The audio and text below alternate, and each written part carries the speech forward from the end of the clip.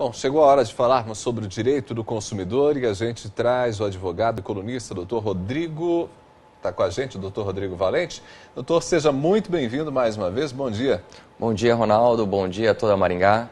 Nós falamos na segunda-feira passada sobre crianças que são considerados pelo direito, dentro dessa lógica, inclusive, do consumidor, como vulneráveis. As crianças são vulneráveis. Os idosos também estariam entre os mais vulneráveis? Exatamente. Os idosos também são considerados como aquela classificação de hipervulneráveis. Nós podemos dividir a questão de vulnerabilidade em três lotes. O primeiro lote são as crianças, o segundo lote é o homem padrão normal de idade e o, terceiro lote seria os hipervulneráveis, que são aqueles com mais idade, aqueles que devem ser também ter um cuidado adicional em relação à sua proteção. E eles muitas vezes são vítimas dentro do mercado? Exatamente. Hoje a população envelheceu bastante. Então, aqui no sul do país, média de IBGE de expectativa de vida é de 84 anos. Então, nós temos que tomar uma precaução adicional para acima de 70 anos, que são situações que é, acabam sendo possibilitado uma, um enfoque maior de consumo e as pessoas não têm tantas informações como outras faixas etárias.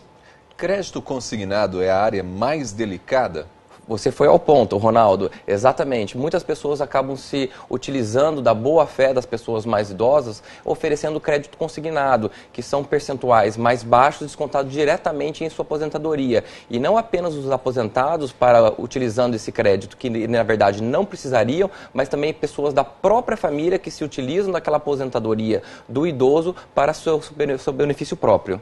E aí, como lidar com essa vulnerabilidade do idoso, principalmente no que diz respeito ao crédito consignado, doutor? Bem, tem que sempre tomar muito cuidado. Primeiramente, nós temos que passar informações claras e precisas para o idoso, porque o idoso ele tem já uma dificuldade de visão na grande maioria das vezes. Então, não pode ter aquelas letras pequenininhas de modo que ele vai ter um uma contrato, dificuldade. Por exemplo. Exatamente, um contrato ele pode ter uma dificuldade de ler e por vergonha ele pode pedir, não pedir ajuda para pessoas esclarecerem e acaba assinando aquilo que colocam na frente dele. Depois ele vai acabar sofrendo uma, uma, uma, um problema na parte de, do seu, das suas economias aí por vários e vários meses.